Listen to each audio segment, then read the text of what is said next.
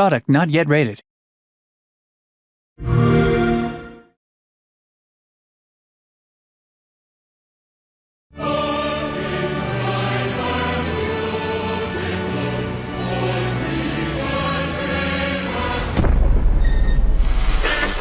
Emergency at Windscale Atom Plant.